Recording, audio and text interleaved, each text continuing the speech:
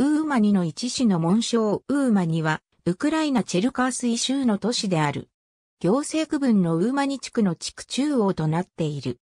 北緯48度45分統計30度13分。北緯48.750度統計30.217度。48.75030.217。カーミアンカ川とウーマンカ川の合流するソイドニプロを高地に位置する。主要幹線道路であるキエフ・オデッサ間の M05 自動車道とサンクトペテルブルク・オデッサ間の E95 自動車道が通過する。人口は2007年現在で87,850人。ユダヤ教徒のシュテットルとしても知られる。現代のウクライナの公用語であるウクライナ語名では通常ウーマニと呼ばれる。また、フーマニという別名も存在する。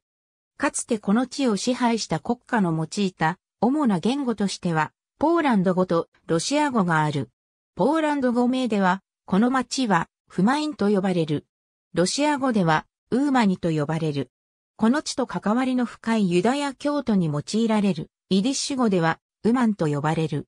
このほか、英語ではウマン、またはウマン、チェコ語ではマン、ドイツ語ではウマンなどと表記される。ウクライナ語名のラテン文字表記としては、ウマン、ウマン、マンなどが存在する。日本語では様々な表記バリエーションが存在する。ウクライナ語名、またはロシア語名についてはまず、アクセント位置を表す、超音符を用いてウーマに、それを用いずに、馬に、ナンシーンを表さずにウマンと書かれる。しばしば、ウマーニと書かれるが、アクセントは、第二音節の、ではなく、第一音節のにあるため、これは適切な表記ではない。ウーマニ地方は1569年からポーランド・リトアニア共和国に組み込まれた。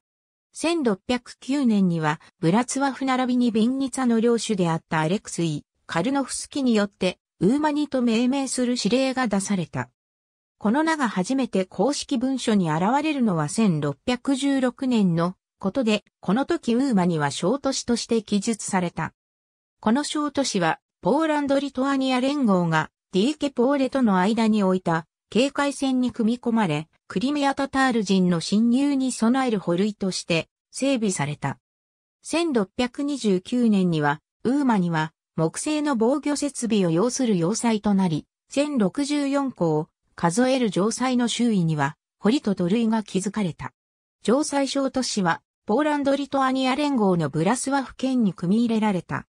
1648年には、ウクライナコサックのボフダン・フメリニツキーの放棄に、こうしたイバーン・ハンジャーの部隊により占領され、この町を根拠地とするウーマニ連隊が置かれた。1648年から1667年まで、ウーマニは連隊都市及び主要要塞として、平地マン国家の領域に属した。1654年末から1655年初めにかけてイバーン・ボフーンに指揮されたウーマニのコサックはポーランド・シュラフタの軍隊の侵攻を退けた。しかし、1667年にモスクワ公国とポーランド・リトアニア連合との間で締結されたアンドルーソボ講和条約により、ウーマニは再びポーランドに領有されることとなった。1670年から1674年にかけてウーマニにはウガンウクライナのヘイチマン・ムイハイロ・ハネーンコが居住した。しかし、1674年には、サガンウクライナのヘイチマン、ペトロ・ドロシェンコとオスマン帝国及び、クリミア半国の連合軍の侵攻により完全に破壊され、ヨサワの住民が殺害された。この出来事の後、ウーマには衰退し、住民の多くはサガンウクライナ移住した。市内のシナゴーグ衰退は1726年まで続いた。この年には、ウーマには、ポーランドのマグナート、フランチシェイク・サレズ一歩と付き伯爵の所領に編入された。この当時、より東部にあった彼の領地においては、ハイダマークイの反乱が続いていた。ポトツキ博は、所領内の他の地域からこの町へ自分の農民や職人を移住させることを起とした。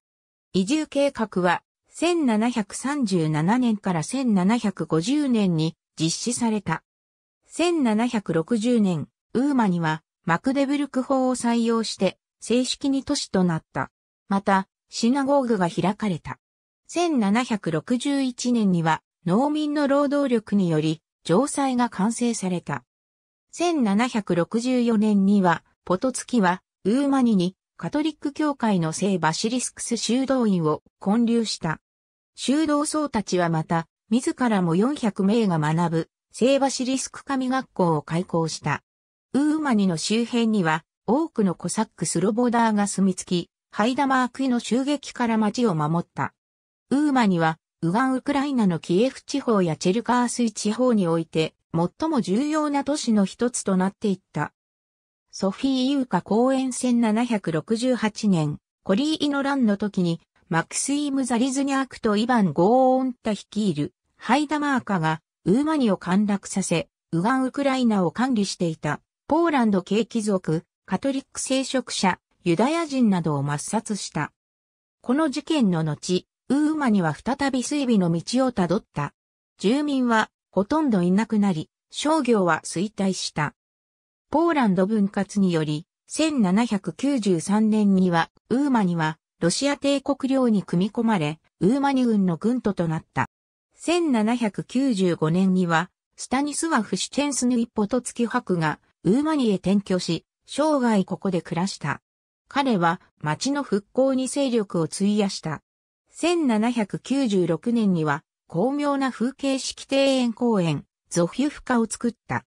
ウーマニは、1795年には、ロシア帝国のボズネセンスク県の軍都市となり、1797年には、キエフ県に編入された。19世紀初頭、ウーマには、ユダヤ人共同体のハシリズムの中心地となった。ラビ・ナフマン・ブラツラフやイスラエル・ベン・エリエゼルは、後半生をウーマニで過ごした。イスラエル・ベン・エリエゼルは、1810年にウーマニで、結核によって死去した。その遺言により、彼はコリー・ユシチナのポグロム犠牲者の眠る古いユダヤ人墓地に埋葬された。